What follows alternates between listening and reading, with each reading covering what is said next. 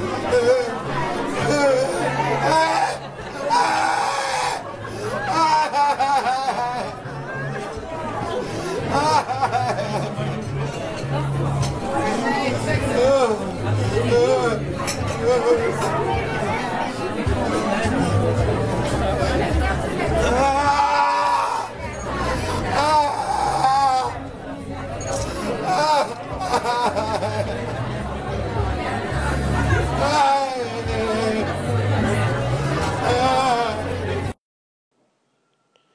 So you just saw a video of Swedish uh, culture minister uh, Lena Adelsohn Liljeroth, I believe uh, that's how you pronounce that. Uh, and, and she's one of these uh, so-called anti-racist uh, Swedish feminists within the parliament or, or, government of Sweden. I, I, don't know the exact term for the Swedish government, but but she's a female politician, one of these people who walk around claiming all white males are evil, racist, uh, you know, monsters, and here she is uh, depicting uh, the the female genital mutilation of an African woman uh, with the artist who made the cake for her, uh, screaming in, in agony and pain as she cuts into uh, where her genitals would be.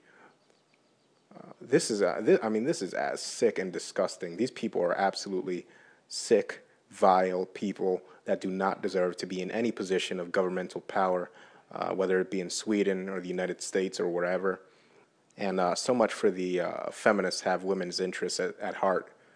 You know, I'm not going to blame the white man for this because these people, these are white women that are uh, depicting extreme racism here. Uh, extreme, and I almost never say this. I, I don't know if I've ever said this, uh, but they're depicting extreme misogyny here, a hatred of women and they think it's okay and everybody's laughing. You know, this is this is a a cocktail of of racist feminism, uh, which which often crops up, especially with these.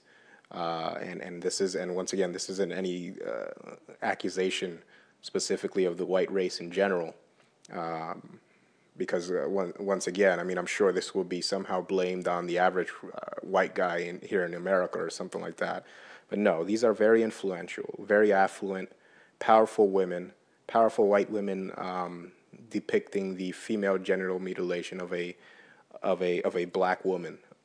You know, and I find it absolutely horrid, and I and I cringe for the men of Sweden uh, and and also the the women of Africa because this is the type of assistance that these people are planning to furnish uh, for the African women in, in in a very desperate situation. Who knows what type of help these people are planning to dispense uh, in in the African nations? I mean, these are the real racists we're talking about here. I mean, I, I really am am pretty much speechless. I, I can't even. it's it's just monumentally despicable. That's all I can really say about it.